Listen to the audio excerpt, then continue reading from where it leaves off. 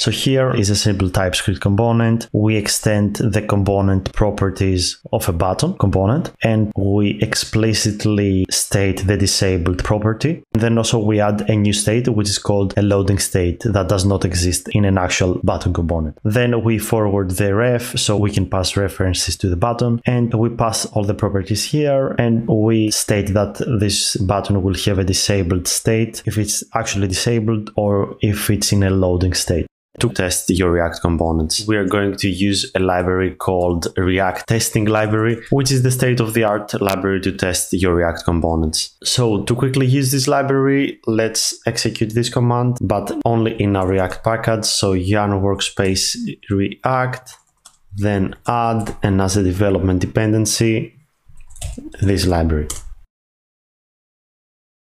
But to use this, we will also install some additional libraries that they are required, like the Jest DOM library.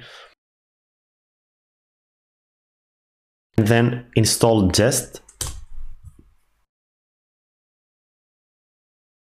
And then we need some supporting libraries in order to transform the TypeScript syntax and everything to plain JavaScript so we will use Babel for this job.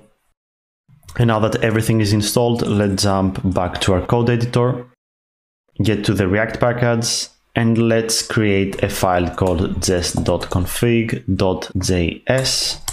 And this is a really simple configuration, just that we will use as a test environment the JS DOM.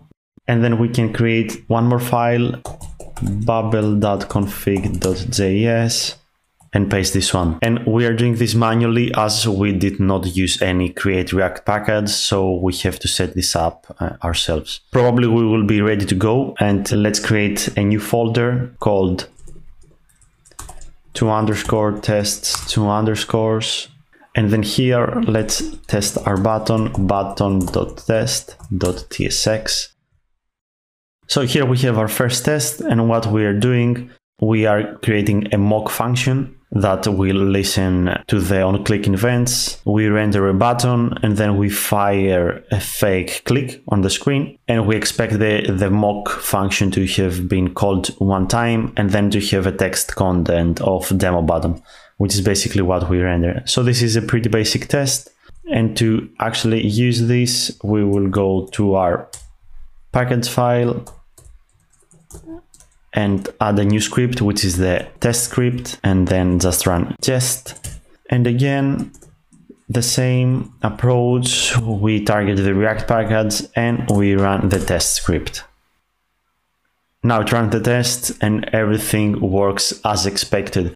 Thanks for watching this newline tutorial. If you haven't already, please like this video and subscribe to our channel. It helps other students find our content.